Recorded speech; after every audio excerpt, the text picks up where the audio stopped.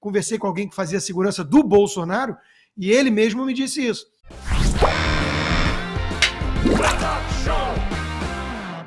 no Brasil, o ex-presidente Bolsonaro comentou o atentado a Donald Trump e disse que o americano foi salvo, assim como ele próprio, durante a sua campanha. Em entrevista a uma jornalista na manhã deste domingo em São Paulo, Bolsonaro disse que somente pessoas conservadoras sofrem atentados. Ressaltou a importância da segurança para líderes políticos e também declarou que o que aconteceu com Trump é algo que vem de cima.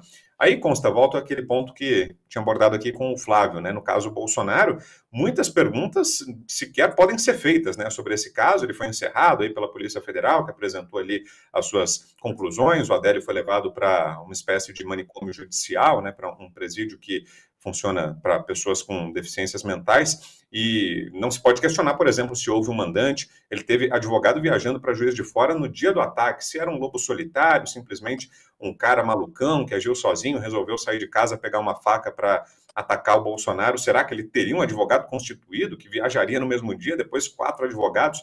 Mas nada disso se pode ser questionado. Não se pode falar, por exemplo, das conexões que já apareceram do PT, de governos de esquerda, com o crime organizado. Né? O PT, o Marcola, na, na gravação, um dos criminosos lá do PCC, dizia que tinha um diálogo cabuloso com o PT. Mas será que não se pode traçar uma conexão? Será que nenhuma dessas organizações que são afeitas à esquerda, portanto, refratárias à eleição do Bolsonaro, não podem ter tido um, algum envolvimento nesse episódio, ter conduzido um malucão qualquer, estimulado ele a lá dar uma facada? Esse tipo de pergunta aqui no Brasil não pode ser feita, né, Consta? Pois é, o mesmo PCC que tinha um plano para matar o Sérgio Moro, por exemplo. Agora, veja que curioso, né? Se você falar que foi uma fakeada, que foi tudo uma armação, aí o Alexandre de Moraes não vai te importunar, você não vai entrar em nenhum inquérito de fake news, pode espalhar essa desinformação deliberada à vontade. Aliás, é, Janones, que foi um dos é, é, artífices da campanha petista do Lula nas redes sociais, né, ele falou exatamente isso, afirmou que uh, o atentado contra o Trump, Trump foi uma armação. E o Cacai também, né, um advogado criminalista famoso que costuma despachar é, é, é, de bermuda no STF, foi na mesma linha nós não vimos nenhum dos moderados tucanos que fizeram L para salvar a democracia, o senhor Armínio Fraga, João Moedo, Helena Landau e tantos outros, vindo a público repudiar uma fala dessas de um colega. Todos eles fizeram L para salvar a democracia. Um deles está dizendo que é uma farsa que houve um atentado contra o Trump. E eles não se importunam com isso, né?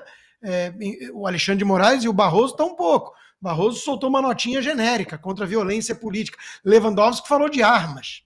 Né? Esse é o nível dessa turma. Deixa eu dar boa noite para a deputada Zanata. Em, em, homenagem a ela, eu estou bebendo um leite, também que o Felipe Neto também acordou, que isso é, isso é, é coisa de nazista. Né? Nazismo. Né? É, olha o nível da, da nossa esquerda, né? Dos, daqueles que adotam os métodos verdadeiramente fascistoides, tipo aqueles Sleeping Giants, a Antifa, o Black Bloc, é, e por aí vai, Black Lives Matter aqui nos Estados Unidos. Então, é óbvio que tem que questionar. O que eu tenho a dizer é que pelo menos não apareceu nenhum advogado, nenhuma banca de advogados caríssimos aqui para defender esse sujeito aí, uh, tido como o responsável. Eu também compartilho das dúvidas eh, que o Matt Walsh divulgou e o, e o, Morgan trouxe, e outros, né, vários, tem vídeos mostram o tempo que levou para a reação. Dito tudo isso, e, e, óbvio que existem conspirações né, contra eh, políticos, dito tudo isso, eu ainda atribuo como uma probabilidade maior a incompetência. E aí o motivo é muito simples, né? É, primeiro tem aquilo que a própria Júlia disse, e o Morgan também, e eu também já tinha dito, quer dizer, com oito anos de retórica comparando Trump a Hitler, num país com mais de 300 milhões de pessoas e muitas armas, é natural que você encontre pelo menos um disposto a ir para o sacrifício para salvar a, a democracia americana, né? Então, é, você alimenta, você cria o clima, sobe a temperatura a ponto de aparecer um louco disposto a isso.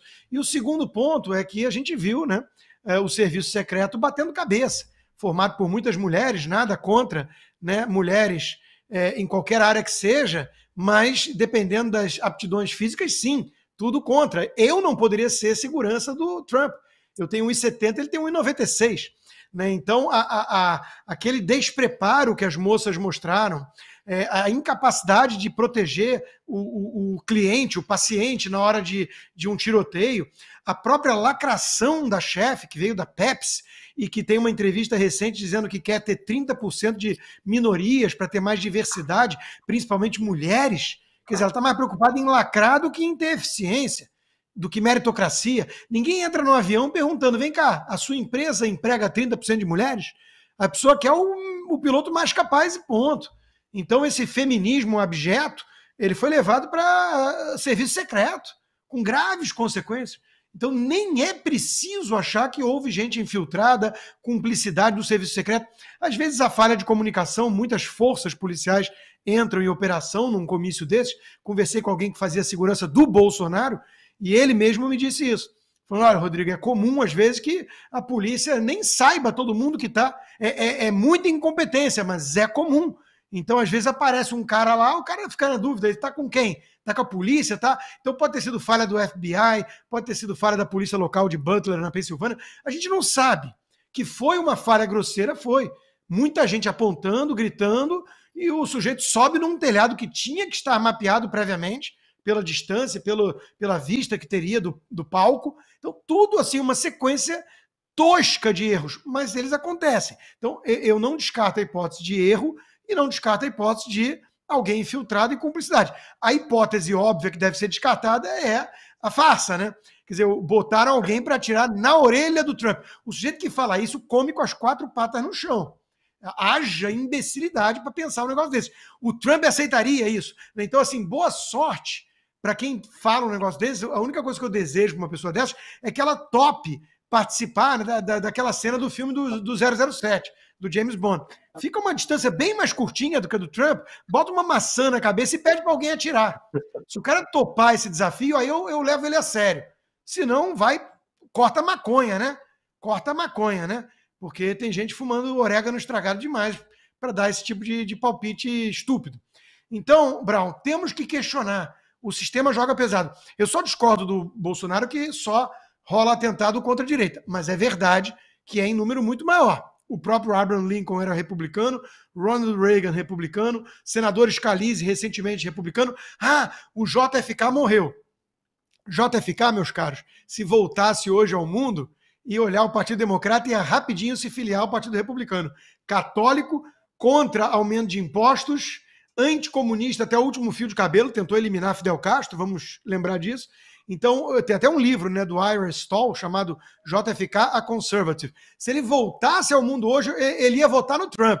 O Biden está quase votando no Trump, né? Ele está senil, mas ele, no pronunciamento que ele fez ontem, ele quase falou Make America Great Again. Quase, quase. Então, mais um pouquinho ele vota no Trump também. É que é muito grande, ele não consegue lembrar Make America Great Again. é, se fosse mais curto, eu tinha falado.